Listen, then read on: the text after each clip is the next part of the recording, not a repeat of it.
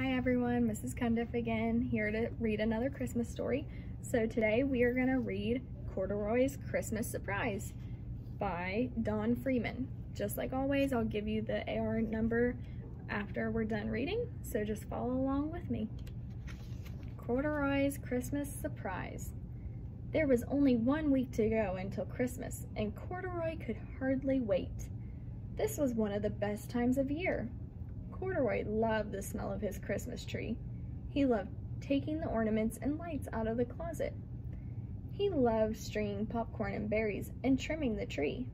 And that was only the beginning. Corduroy's list of fun things to do at Christmas time went on and on and on. So there he is putting the popcorn and berries on a string to put around the tree. There's Corduroy. This year, Corduroy thought to himself, Christmas was going to be even more fun than usual. His best friends, Mouse, Rabbit, Dolly, and Puppy, were coming over to spend Christmas Day at Corduroy's house. And he had little gifts for his guests, so he pulled out the wrapping paper, tape, and ribbons. Wrapping presents always got Corduroy into the holiday spirit. There's Corduroy oh, wrapping his presents. He has his paper and scissors and ribbon and tape. There's one of the presents that he bought. That reminded Corduroy that he hadn't written his letter to Santa. What did he want for Christmas? Well, thought Corduroy, it would be fun to have some ice skates that this winter. He could use a new warm sweater. Oh, he always wanted a train set. And a new ball would be nice too. Corduroy wrote his letter in his neatest, best printing. There's Corduroy sitting on his chair, writing his letter to Santa. And his letter says, Dear Santa, please bring me ice skates, sweater, trains, ball. Thank you, Corduroy. Just then, the doorbell rang. Ding dong. Corduroy put put down his letter and went to the door, and there were Mouse, Rabbit, and Puppy standing in front of his house. They were singing, We wish you a Merry Christmas and a Happy New Year. When the carolers had finished, Puppy said, Corduroy, grab your coat and come with us. We'll go caroling at Dolly's house next. So they're going Christmas caroling.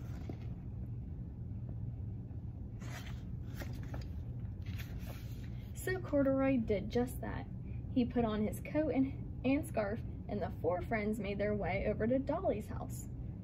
As they began to sing, Dolly opened the door. She looked so surprised. Then Dolly invited them all inside. I'm putting the finishing touches on my gingerbread house, she said. Why don't you four come in and help me? A real homemade gingerbread house? Corduroy had to see this.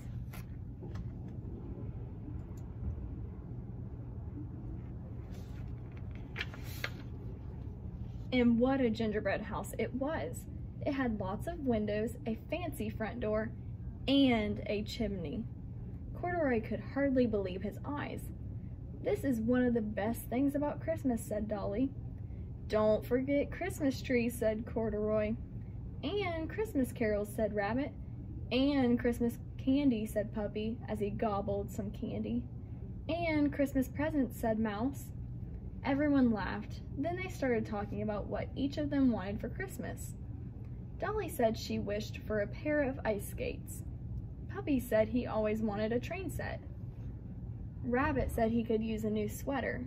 And Mouse said a brand new ball would be fun. Corduroy didn't say anything. How could he tell them that he had written to Santa to ask for all of those things? So they all want the same thing. There's Puppy and Candy.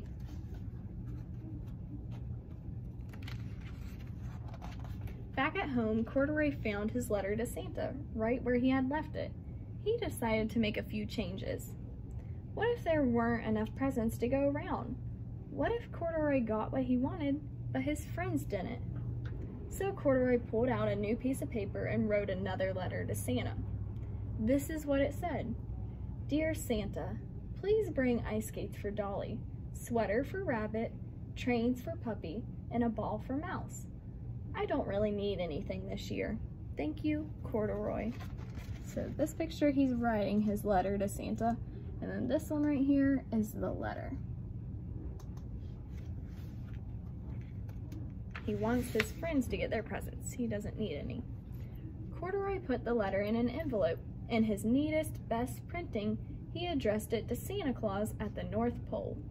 He stuck on a stamp and sealed the letter shut. Then Corduroy pulled on his coat, his scarf, and his boots.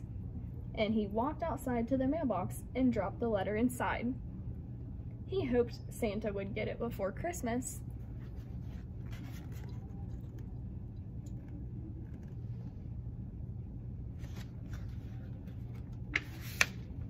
A few days later, it was Christmas Eve. The very next morning, Corduroy's friends would be coming over to celebrate with him. Corduroy was getting ready by baking Christmas cookies. He hoped he had made enough.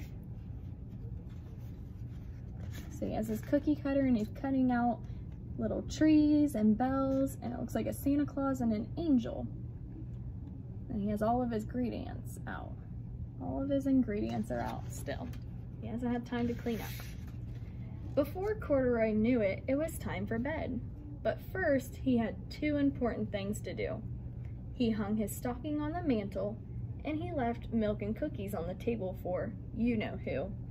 Maybe Santa wouldn't be bringing anything for him, Corduroy thought, but he was so happy that his friends would be getting exactly what they wanted. There's Corduroy putting his stocking on the mantle, and then he's setting out the cookies and milk for Santa Claus. And he has a little note that says, Dear Santa, Merry Christmas, Corduroy.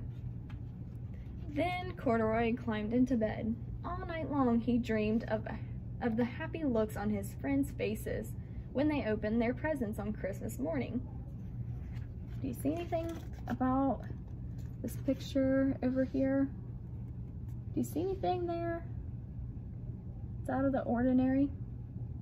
That's right, there's Santa. His feet are sticking out. And Corduroy has no clue what's going on. He's still asleep. The next morning, Corduroy sat up in bed and rubbed his eyes. It was Christmas Day. It had finally come. Corduroy looked out the window to see a crisp, sunny day and a fresh blanket of snow on the ground.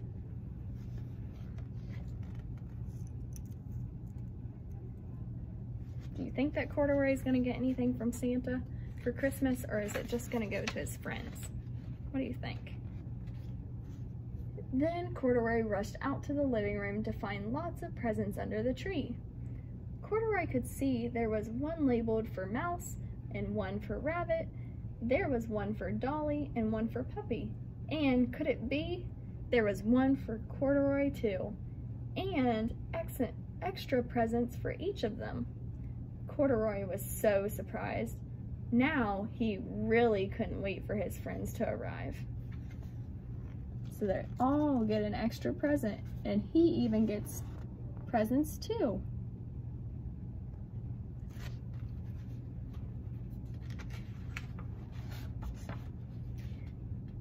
Once everyone had come, Mouse, Rabbit, Dolly, Puppy, and Corduroy sat down together by the tree and opened their presents. Dolly got ice skates and a scarf. Rabbit got the sweater he wanted and a picture book too. Puppy got the train set of his dreams and a new hat. Mouse got a ball and some warm winter boots. What do you think Corduroy got? What do you think he got? And Corduroy got ice skates and a sweater. How in the world did Santa know that he wanted them? How do you think that Santa knew what Corduroy wanted? How do you know? How did he know?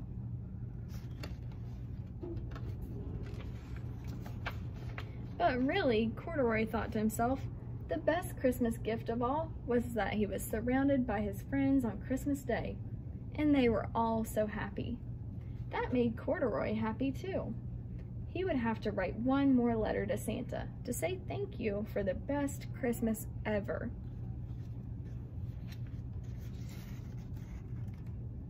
There they are, all eating the cookies that he made. The end. Now you can go take your AR quiz and the number is 59784. 59784. I hope you enjoyed the story and go on to your next story.